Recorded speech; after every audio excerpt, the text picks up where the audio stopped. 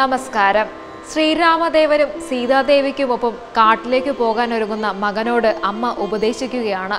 ജ്യേഷ്ഠപത്നിയെ അമ്മയായി കാണുക എന്ന്. ലക്ഷ്മണകുമാരനോടുള്ള സുമിത്ര മാതാവിന്റെ ആ വാക്കുകൾ രാമായണത്തിന്റെ സാര സർവസ്വമായി രാമായണത്തിലെ ഏറ്റവും പ്രധാനപ്പെട്ട ശ്ലോകം ഏതെന്ന വിക്രമാദിത്യ മഹാരാജാവിന്റെ ചോദ്യത്തിന് മഹാപണ്ഡിതനായ വരരുചിക്ക് ഉത്തരമില്ലായിരുന്നു.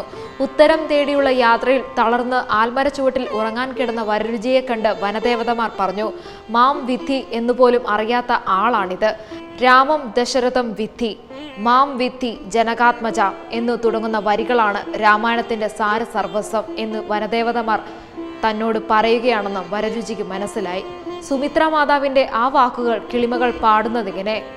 രാമനെ നിത്യം ദശരഥനെന്നുള്ളിൽ ആമോദമോട് നിരൂപിച്ചു കൊള്ളണം.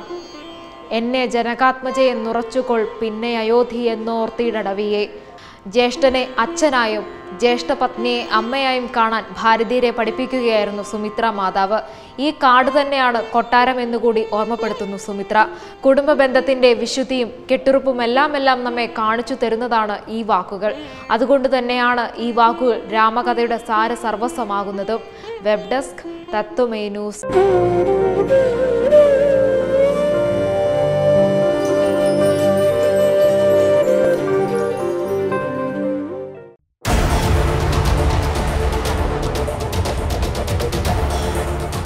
തത്വമയി ടി വിയുടെ പുതിയ ഒരു വാർത്താ പ്രക്ഷേപണ പരിപാടിയായിട്ടുള്ള ഹോട്ട് ലൈൻ ആരംഭിക്കുന്നതായിട്ട് അറിഞ്ഞു. വളരെ സന്തോഷമുണ്ട്. കാരണം ഇന്നേക്ക് ഒരു ദശാബ്ദങ്ങൾക്ക് മുമ്പ് ശ്രീ രാജേഷ് പിള്ള നേതൃത്വം നൽകിയ ഹോട്ട് ലൈൻ പരിപാടിയിൽ സ്ഥിരമായി പങ്കെടുക്കാൻ ഭാഗ്യം ലഭിച്ചിട്ടുള്ളൊരു പൊതുപ്രവർത്തകനാണ്. അത് പ്രേക്ഷകരുമായിട്ട് ഏറ്റവും ചൂടുള്ള ഏറ്റവും വർത്തമാനകാല പ്രസക്തി ഉണ്ടായിരുന്ന വിഷയങ്ങൾ. പ്രേക്ഷകരുമായിട്ട് നേരിട്ട് സംവദിക്കാൻ പറ്റുന്ന ഒരു അപൂർവ വേദിയായിരുന്നു അന്നത്തെ ഹോട്ടലെ അതിൽ കേവലം ചർച്ച ചർച്ചകളും അതോടൊപ്പം തന്നെ അങ്ങോട്ടും ഇങ്ങോട്ടുള്ള ആക്രമണങ്ങളും ആയിരുന്നില്ല. അതിലുപരി ഒരു വിഷയത്തെക്കുറിച്ച് മാത്രം ഒരു മണിക്കൂർ ചർച്ച ചെയ്യുക ആ വിഷയത്തിന്റെ ആധികാരികതയിലേക്ക് പോവുക ആ വിഷയവുമായി ബന്ധപ്പെട്ട ഉത്കണ്ഠകൾക്ക് പരിഹാരം കാണുക. അങ്ങനെയുള്ള മാതൃകാപരമായിട്ടുള്ള ഒരു ചർച്ചാ വേദിയായിരുന്നു. ആ വേദി പുനരാവിഷ്കരിക്കുന്ന തത്വമയി ടി വിക്ക് ഒരായിരം അഭിവാദ്യങ്ങൾ അർപ്പിക്കുകയാണ്.